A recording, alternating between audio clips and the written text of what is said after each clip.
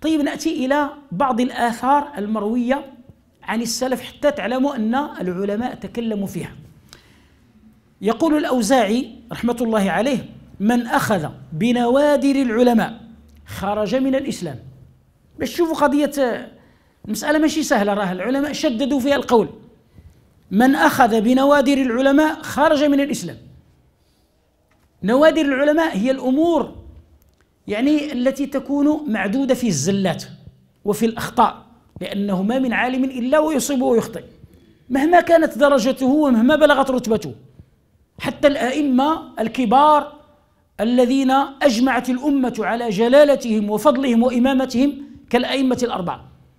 ففي أقوالهم ما ينتقد وما يطرح وما لا يؤخذ به. كما قال مالك رحمه الله إمام دار الهجرة ما منا من أحد إلا وفي قوله ما يؤخذ وما يترك.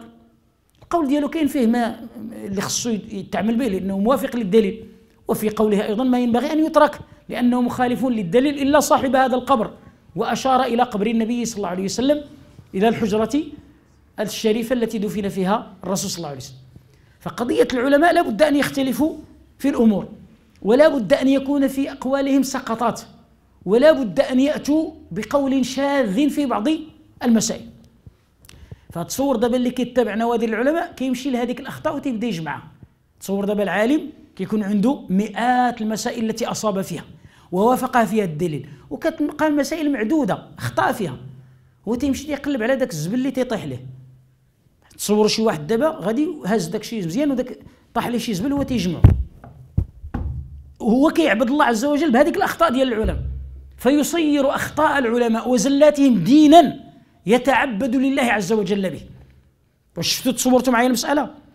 من أخذ بنوادر العلماء خرج من الإسلام. وهذا أخرجه البيهقي في السنن الكبرى بسند حسن. هذه قصة ذكرها البيهقي أيضا وذكرها الذهبي في سير أعلام النبلاء عن إسماعيل بن إسحاق القاضي وهذا من أئمة المالكية الكبار إسماعيل بن إسحاق القاضي. قال دخلت على المعتضد. دخل على هذا الخليفة. دخلت على المعتضد فدفع إلي كتابا نظرت فيه. يعني قال لي شوف هذا الكتاب قرش فيه فأخذه إسماعيل وقرأ فيه. وكان قد جمع له الرخص من زلل العلماء. يعني جا شي واحد وبدا تيجمع ليه الرخص.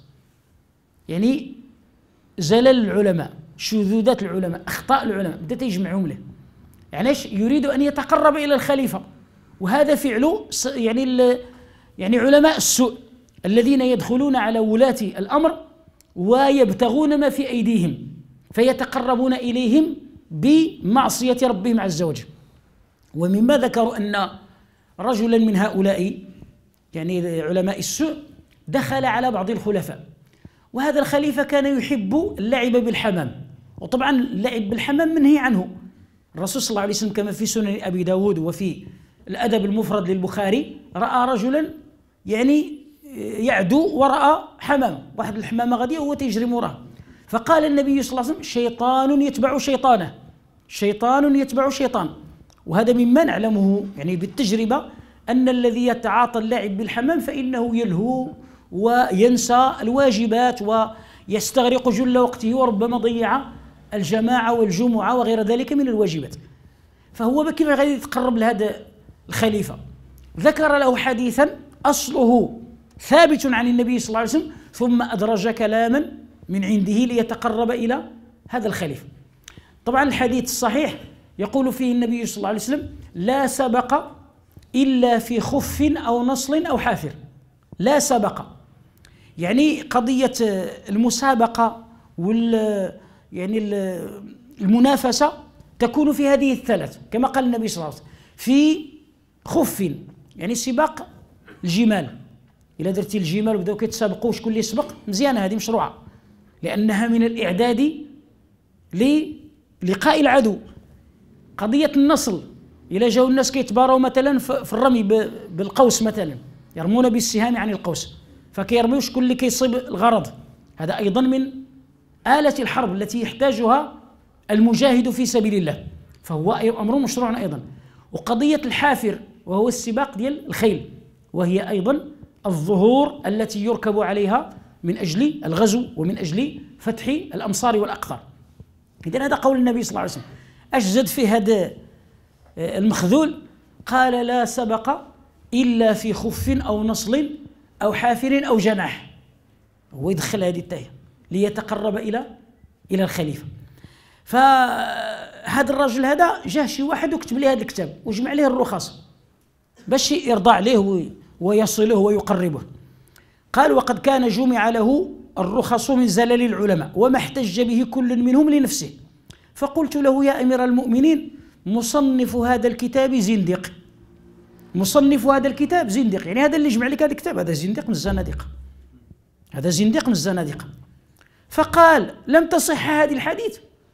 وزعما هذيك الأحاديث ما صحيحاش. قلت الأحاديث على ما رويت.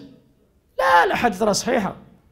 ولكن من أباح المسكر لم يبح المتعة. ومن أباح المتعة لم يبح الغناء والمسكر. وما من عالم إلا وله زلة. ومن جمع زلل العلماء ثم أخذ بها ذهب دينه. فأمر المعتضد فأحرق ذلك الكتاب. يعني كان فيه خير. اللي سمع نصيحة العالم وسمع يعني التعليل أخذ ذلك الكتاب فأحرقه. إذا شوف هذا التشيطين دابا اللي كيديروه الناس. جمع له أخطاء العلماء. يعني ذكر له إباحة المسكر على مذهب أهل الكوفة فكانوا يبيحون النبيذ. يقول لك يعني الخمر اللي حرام هي اللي من من العنب. لكن إذا كانت من الشعير ولا من شي من شي حاجة من الشريحة ولا شي حاجة راه لا بأس. فأباح له هذا. وأباح له الغناء على مذهب بعض فقهاء المدينة.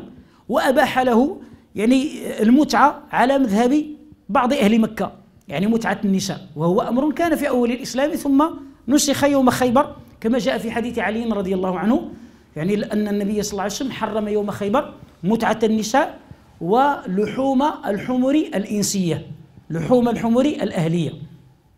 إذا إذا جاء شي واحد وقال لك هذه مباحة وهذه مباحة ولفق بين المذاهب وجمعها فهذا قد جمع أخطاء العلماء. إذا أحرق هذا الكتاب.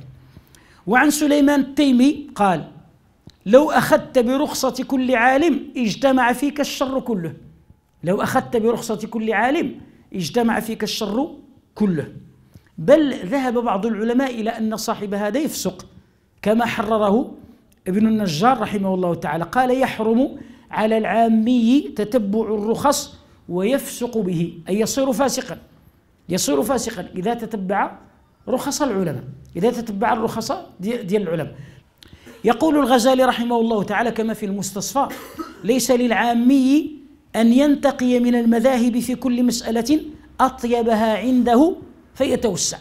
هذا ليس للعام أن ينتقي من المذاهب في كل مسألة أطيبها عنده فيتوسع.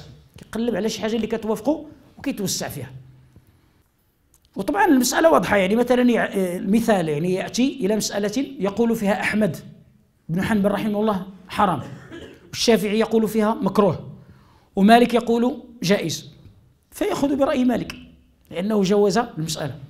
فإن جاءت مسألة أخرى وقال فيها مالك حرام وقال أحمد مكروه وقال الشافعي جائز يأخذ برأي الشافعي لأنه دائما هو تابع هذيك هذيك السهلة.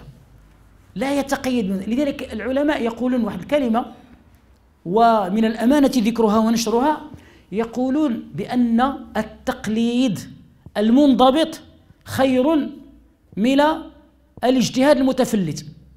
تقليد المنضبط شي شي واحد إلا تبع تقليد مع أننا لا نقول بالتقليد أصلا. ولكن شي واحد إلا تابع واحد المذهب قال لك أنا سيدي بغيت نتبع المذهب ديال مالك أنا ما عندي علم ما عارف والو.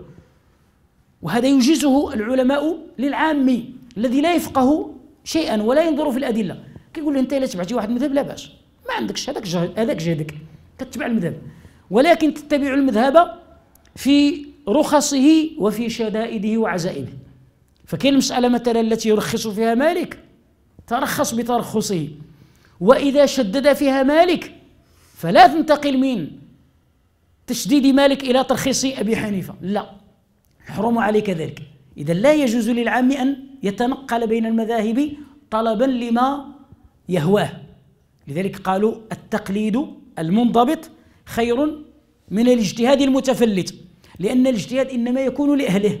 إحنا ماشي تنقولوا للعامة اجتهدوا وشوفوا الأقوال ونعرضها. دابا كاين بعض آه، الجهلة ممن لا يقيمون للدين وزنا يظهرون على بعض القنوات فيعرضون المسائل عرضا. ويذكرون شواذ الأقوال والمطمور منها والمغمور فينشرونه ويتركون لعامة الناس الاختيار. كيقولوا المسألة ودابا راه ضحكوا عليكم وكانوا كيربيكم على القول الواحد. والمسألة راه فيها ثلاثة الأقوال ولا أربعة. كانوا كيقولوا لكم الغناء حرام والموسيقى حرام. هذوك المتشددين أجي وأجي نوريكم شحال فيها. راه كاين فيها فلان قال فيها هذا واجي تشوف ابن حزم اش قال. وليش كتب ابن حزم؟ وكيف رد على حجج الذين قالوا كيف ضعف الأحاديث اللي في البخاري وكيف داروا كيف داروا كيف داروا. فيجد يعني المسلم يعني هواه في ذلك. هو عزيز عليه الغناء كيقول لك هو المهم راه كاين كاين العلماء اللي قالوا بها.